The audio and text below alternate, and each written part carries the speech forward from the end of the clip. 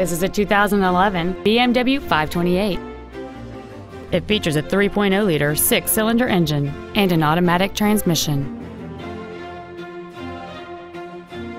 Features include the premium package, a navigation system, Bluetooth mobile device connectivity, automatic collision notification, a low tire pressure indicator, BMW individual composition, 12 volt power outlets, rear seat child-proof door locks, a steering wheel with memory settings, and this vehicle has fewer than 21,000 miles on the odometer. With an EPA estimated rating of 32 miles per gallon on the highway, you won't be making frequent trips to the gas pumps. This vehicle is sure to sell fast. Call and arrange your test drive today.